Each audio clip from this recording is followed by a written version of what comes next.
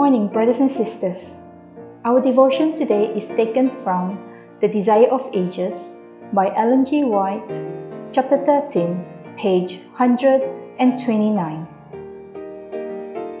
Jesus was victor in the second temptation, and now Satan manifests himself in his true character.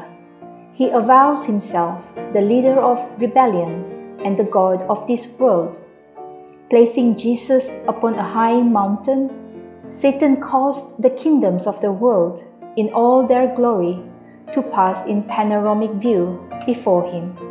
The traces of evil were hidden.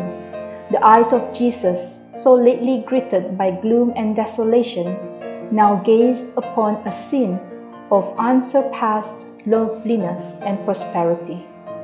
Then the tempter's voice was heard all this power will I give thee, and the glory of them, for that is delivered unto me, and to whomsoever I will, I give it. If thou therefore wilt worship me, all shall be thine. Satan tempted Jesus with the glory of the world.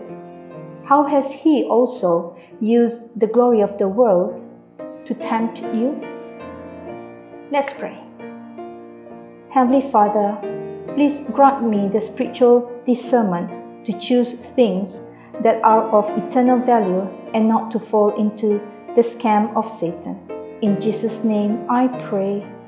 Amen. May you have an exciting day ahead of you.